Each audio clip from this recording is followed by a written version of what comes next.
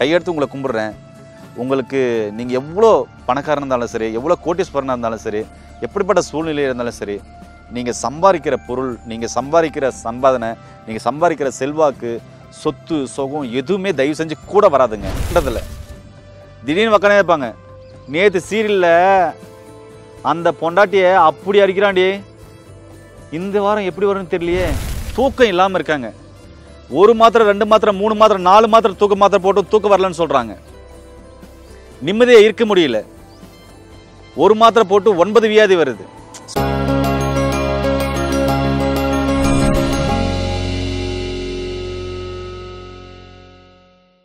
இயற்கையை மருந்து சேனலுடைய மேலும் பல பதிவுகளை தெரிந்து கொள்ள இந்த சேனலை சப்ஸ்கிரைப் செய்யவும் பெல் பட்டனை அழுத்தவும். மேலும் மருத்துவரின் ஆலோசனை பெற இந்த வீடியோவில் உள்ள எண்ணிற்கு தொடர்பு கொள்ளவும்.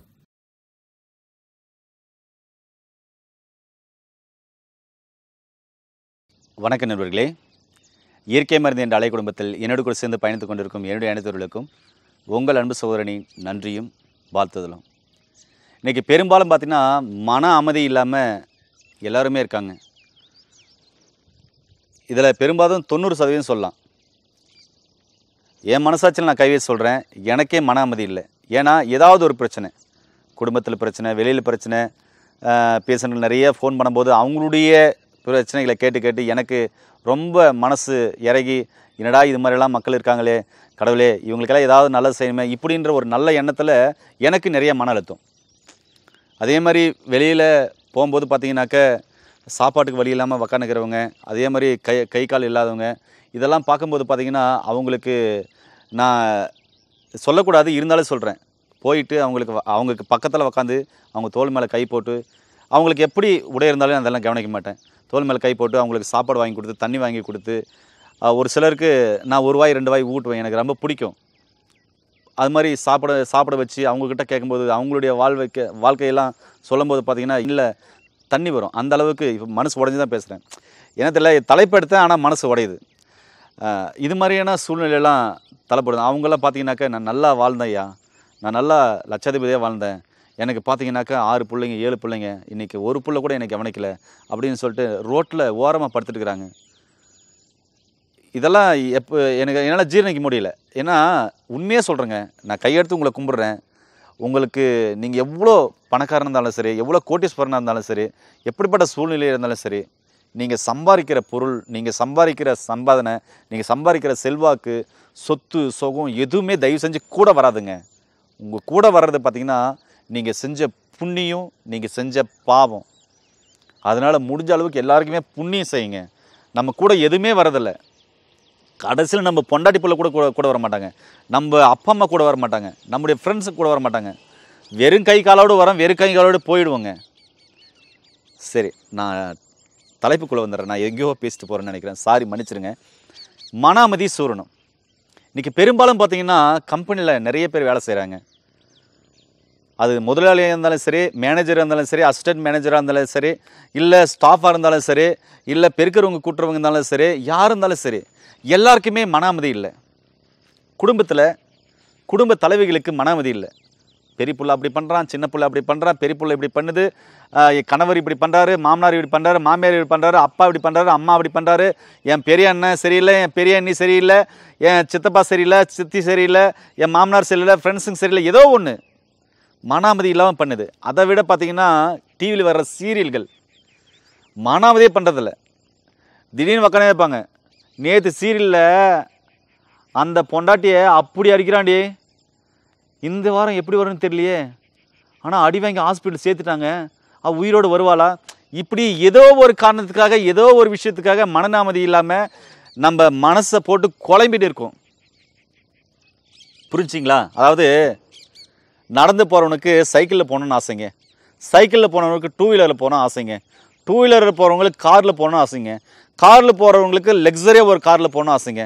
லக்ஸரியாக ஒரு காரில் போகிறவங்களுக்கு ஃப்ளைட்டில் போகணும்னு ஆசைங்க. ஃப்ளைட்டில் போகிறவங்களுக்கு நல்லா ஸ்பீடாக போகிற ஜெட்டில் போகணும் ஆசைங்க. ஸ்பீடாக ஜெட்டில் போகிறவங்களுக்கு விதவிதமாக வந்திருக்க டெக்னாலஜியோட ஜெட்டில் போகணும்னு ஆசைங்க. இப்படி மனித ஆசைகள் அளவு கடந்தது. போயிட்டே இருக்கும். ஆனால் போதும்னு சொல்கிற ஒரே ஒரு வார்த்தை சாப்பாடு. அதனால் இந்த மன அமைதி இல்லாமல் எவ்வளோ பேர் மனநல பாதிக்கப்பட்டிருக்காங்க. சின்ன சின்ன குழந்தைங்க வாலிப பிள்ளைங்க அதுக்கப்புறம் பார்த்தீங்கன்னா வயசானவங்க மன அமைதி இல்லாமல் இருக்காங்க. தூக்கம் இல்லாமல் இருக்காங்க. ஒரு மாத்திரை ரெண்டு மாத்திரை மூணு மாத்திரை நாலு மாத்திரை தூக்க மாத்திரை போட்டும் தூக்கம் வரலன்னு சொல்கிறாங்க நிம்மதியாக இருக்க முடியல. ஒரு மாத்திரை போட்டு ஒன்பது வியாதி வருது. சொல்கிறேன் எக்ஸாம்பிள் சொல்கிறேன் அதே மாதிரி பார்த்தீங்கன்னாக்கா பைத்த பிடிச்ச மாதிரி இருக்காங்க பித்து பிடிச்ச மாதிரி இருக்காங்க. ஏன்டா போன வாரம் தான் பார்த்தேன் நல்லா இருந்தால் ஏன் இப்படி ஆயிட்டான்? என்னன்னு தெரில பைத்தியம் ஆயிட்டான்டா அவன். மனநிலை சரியில்லை.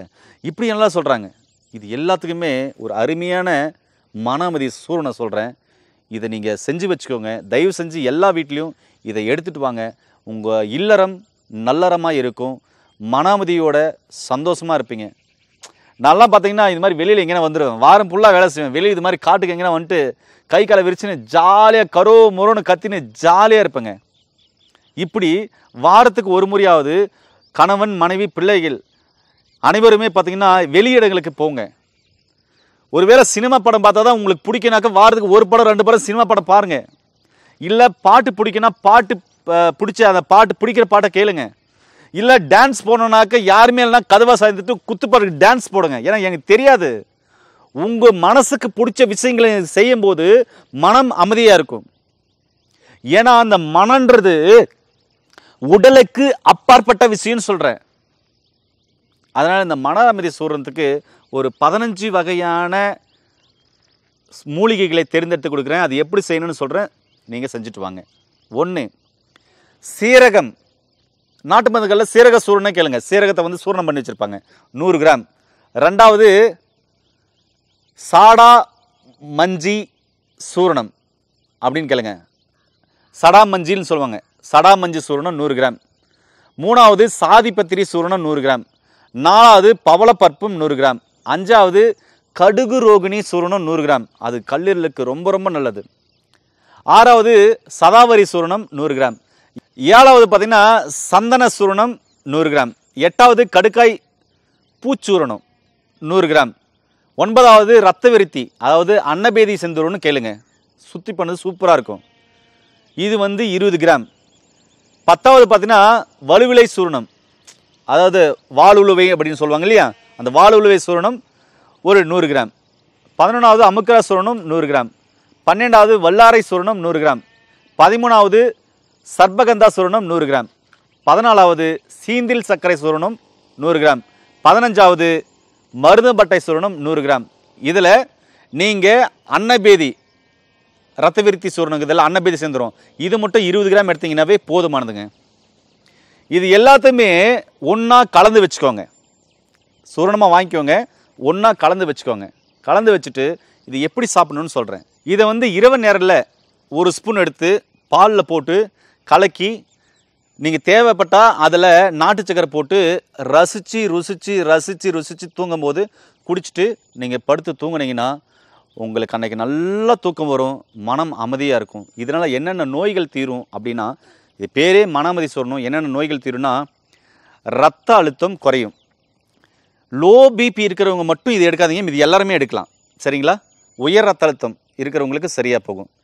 மன உளைச்சலாக இருக்குது மன சோர்வாக இருக்குது தூக்கமின்மை இருக்குது மற்றும் மனம் சார்ந்த வியாதிகள் நிறையா இருக்குது அப்படின்றவங்களுக்கு இது ரொம்ப ரொம்ப அருமையான மருந்து. இது நான் இதை வந்து அனுபான மனதாக வந்து நம்முடைய முன்னோர்கள் கொடுத்தாங்க. சுயநினைவு இல்லாமல் இருக்காங்க. பைத்தியம் மாதிரி சுற்றிட்டு இருக்கிறான் பித்து பிடிச்ச மாதிரி சுற்றிட்டு இருக்கிறான் அப்படின்றாங்களா? இவங்களுக்கெல்லாம் கொடுக்கலாம். அதே மாதிரி தனக்குள்ளே பேசிப்பாங்க. இல்லைனா மண்டையில் ஏதோ பேசுகிற சவுண்டு கேட்கும் இல்லைனா காதில் ஏதோ பேசுகிற சவுண்டு கேட்கும் இல்லைனா பாட் சவுண்டு கேட்கும் ஏதோ ஒன்று நினச்சிட்டே இருப்பாங்க. ஒரு சிலர் பார்த்திங்கன்னா தன்னால் பேசுவாங்க. ஒரு சிலர் பார்த்திங்கன்னா ஒரு இடத்துல இருக்க மாட்டாங்க சுற்றிட்டே இருப்பாங்க. ஒரு சிலர் வந்து ஏதாவது வேலை செஞ்சுட்டே இருப்பாங்க. ஒரு சிலருக்கு பார்த்தீங்கன்னாக்க டோர் இழுத்தாவே பயமாக இருக்கும். ஒரு சிலருக்கு டோர் பூட்டிடுவாங்க. திருப்பியும் வந்து பூட்டினான்னு செக் பண்ணுவாங்க. ஒரு சிலருக்கு பார்த்தீங்கன்னா வண்டி ஸ்டார்ட் பண்ணிவிடுவாங்க ஸ்டார்ட் பண்ணிட்டு திருப்பியும் வண்டி ஒழுங்காக ஸ்டார்ட் ஆகிக்குதா? பெட்ரோலுக்கு தான் போய் பார்ப்பாங்க. ஒரு சிலர் கார் கதவை மூடிட்டு லாக் பண்ணிவிடுவாங்க திரும்பி போய் இழுத்து பார்ப்பாங்க. ஒரு சிலருக்கு தட்டு கழுவி சாப்பிட்டு தட்டு கழுவி வச்சுட்டு வருவாங்க. திருப்பி போயிட்டு தட்டு கழுவி இருக்குனான்னு பார்ப்பாங்க. இப்படி மனம் சார்ந்த அனைத்து பிரச்சனைக்கும் ஒரு சிலருக்கு பயமாக இருக்கும் பதட்டமாக இருக்கும். தற்கொலை என்ன வரும் ஏன்டா நான் இருக்கிற உயிரோட செத்துலான்னு வரும்? எதுக்காக அந்த நினைக்கிறாங்கன்னு தெரியாது. ஒரு சிலருக்கு முன்னாடி இருக்கிற நண்பனே பேசிட்டு இருப்பான் ஆனால் ஓங்கி பலார்னு ஒன்று அடித்தா என்ன? அவனை குத்துறான் என்ன? அப்படின்னு மனசில் பல பல எண்ணங்கள் உருவாகும். இல்லைனா நண்பன் பேசிட்டு இருப்பான். ஆனால் அந்த நண்பனால் எனக்கு எதனா ஆபத்து வந்துருமா? அவன் என்ன எதனா அடிச்சிருவானா? அவன் என்ன கொலை பண்ணிடுவானா? அதாவது இந்த உயிர் பயம். இப்படி மனம் சார்ந்த எண்ணற்ற விஷயங்கள். இல்லைனாக்க மனைவி கணவனுக்காக நிறைய மனம் சார்ந்த பிரச்சனைகளை என் கணவன் இப்படி இருந்தால் நல்லாக்குமே குடிச்சிட்டு இருக்காரே உடம்ப கெடுத்துக்கிறாரே இவர் இல்லைனாக்கா எனக்கு வாழ்க்கையே இல்லையே அப்படின்னலாம் யோசிப்பாங்க. பிள்ளைகள் பார்த்தீங்கன்னா அப்பா அம்மா சண்டை போடுறாங்களே சண்டை போட்டுனே இருக்காங்க. அதனால் என்னால் படிக்க முடியல மார்க் ஸ்கோர் பண்ண முடியல வாதிர் திட்டுறாங்க அப்படின்னு பயம் பதட்டம். இப்படி எண்ணற்ற பிரச்சனை சொல்லிட்டு போயிட்டே இருக்கலாங்க. ஏங்க எனக்கு மனம் சார்ந்த பிரச்சனைகளை பேசணுங்கன்னா ஒரு நாள் ஃபுல்லாக உட்காந்து பேசுவேன். அதனால் இது எல்லாத்துக்குமே பார்த்தோன்னா இந்த மன அமைதி சொர்ணும் ரொம்ப ரொம்ப நல்லா கேட்கும். நைட்டில் ஒரே ஒரு ஸ்பூன் எடுத்து போட்டு பாலில் நாட்டு சக்கரை போட்டு கலந்து நீங்கள் அதை உமிழ் நீரோட நல்லா ரசித்து ரசித்து காப்பி குடிக்கிற மாதிரி குடிச்சிட்டு பார்த்தீங்கன்னா இந்த மனம் கொஞ்சம் கொஞ்சமாக கொஞ்சம் கொஞ்சமாக தெளிவாகி வரும். நல்லா புரிஞ்சுக்கோங்க. மனநோய் வரதுக்கு நீங்கள் தான் காரணம். மனநோயை குணப்படுத்துறதுக்கும் நீங்கள் தான் காரணம். இதுக்கு நீங்கள் செய்ய வேண்டியது ஒன்றே ஒன்று என்னென்னா இந்த உலகத்தில் நீங்கள் தான் கிங்கு நீங்கள் தான் ரொம்ப நல்லவங்க. நீங்கள் தான் கடவுள் கொடுத்த உண்மையான பிள்ளை. அதாவது கடவுள் கொடுத்துருக்கிற உண்மையான பிள்ளைன்னு நினைங்க. ஒவ்வொருத்தரும் அப்படி நினைங்க. நீங்கள் அன்பானவங்கன்னு நினைங்க. அடுத்தவங்களுக்கு உதவி செய்யுங்க. அதுவும் பார்த்திங்கன்னா திக்கற்றவங்க பரதேசிங்க விதவைகள் இப்படிப்பட்டவங்களுக்கு நீங்கள் உதவி செய்யுங்க. அவங்கக்கிட்ட போய் உட்காந்து பேசுங்க. இறக்கம் உள்ளவர்களாக மாறுங்க. உங்கள் கண்ணில் கருணை இருக்கட்டும். உங்கள் இருதயத்தில் அன்பு இருக்கட்டும். இப்படியெல்லாம் இருந்தீங்கன்னா ரொம்ப நல்லாயிருக்கும் வெளியில் குடும்பத்தோடு கூப்பிட்டு போயிட்டு டைம் ஸ்பெண்ட் பண்ணுங்கள் சரிங்களா? எல்லா ஃபோன் கீனு சுவிட்ச் ஆஃப் பண்ணிட்டு எல்லாத்தையும் தூக்கி போட்டுருங்க. வாரத்துக்கு ஒரு முறை உங்கள் குடும்பத்தோட டைம் ஸ்பெண்ட் பண்ணுங்கள் இப்படியெல்லாம் இருக்கும்போது பார்த்தீங்கன்னா மன அமைதியாக இருக்கும் வாழ்க்கை அமைதியாக இருக்கும் வாழ்க்கை சந்தோஷமாக இருக்கும். என்னென்னா தயவு செஞ்சு சொல்கிறேங்க போகும்போது எதுவுமே எடுத்துன்னு போகிறதில்லைங்க போகும்போது என்ன சொல்கிறது அருண கயிறை கூட கட் பண்ணிட்டு கட் பண்ணி தான் நம்மளை புதைக்கிறாங்க இல்லை எரிக்கிறாங்க. சரிங்களா? முடிஞ்ச அளவுக்கு எல்லாருக்கும் நன்மை செய்யுங்க. கண்ணில் கருணையோட இருதயத்தில் அன்போட நீங்கள் எல்லாருக்கும் உதவி செய்யுங்க. அன்புள்ள குணமுள்ளவர்களாக மாறுங்க. உங்களுக்கு தன்னால் என்ன சொல்கிறது உடல் ஆரோக்கியமாக இருக்கும் மனநிலை மாறும். நீங்கள் அன்பாக இருந்தீங்கன்னா கடவுள் உங்களை தேடி வருவாருங்க. கடவுள் உங்கள் இருதயத்தில் இருப்பார். இப்படிப்பட்ட ஒரு அன்பான வாழ்க்கையை வாங்க மனநிலைமை சார்ந்த விஷயங்கள் எல்லாமே சரியாக போகும். உடல் சார்ந்த எல்லா விஷயங்களும் சரியாக போகும். உங்களை சுற்றி உள்ள குடும்பங்கள் ஆரோக்கியமாக இருக்கும். இந்த என்ன சொல்ற நீங்கள் ஆரோக்கியமாக இருந்தால் குடும்பம் ஆரோக்கியமாக இருக்கும். குடும்பம் ஆரோக்கியமாக இருந்தால் சமுதாயம் ஆரோக்கியமாக இருக்கும். சமுதாயம் ஆரோக்கியமாக இருந்தால் நம்முடைய இந்திய திருநாடு ரொம்ப ரொம்ப ஆரோக்கியமாக இருக்கும். சரி நண்பர்களே இந்த பதிவு உங்களுக்கு பிடிச்சிருக்குன்னு நினைக்கிறேன். முடிஞ்ச அளவுக்கு எல்லாருக்குமே ஷேர் பண்ணி விடுங்க மீண்டும் இன்னொரு அருமையான பதிவில் உங்கள் அனைவரையும் சந்திக்கும் வரை உங்களிடத்திலிருந்து விடைபெறுவது உங்கள் குடும்பத்தில் ஒருவனாக உங்கள் அன்பு சகன் அரைதாஸ் நன்றி. வணக்கம்.